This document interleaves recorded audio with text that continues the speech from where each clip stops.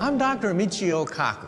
If you're a fan of the Fantastic Four like I've always been, then you know something about traveling through the fabric of time to reach an exciting and new world. You guys sure you're in the best shape to be doing this? Yeah. We're good. Making such a jump might require what's known as a wormhole.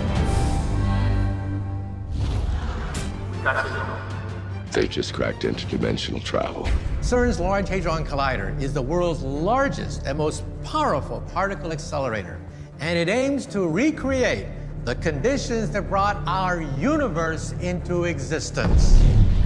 The Big Bang. The Big Bang was the beginning of our universe. One theory says that perhaps the expanding universe was created by the matter blown out the other end of a massive white hole 14 billion years ago. Our ability to understand a wormhole may help us define our very existence.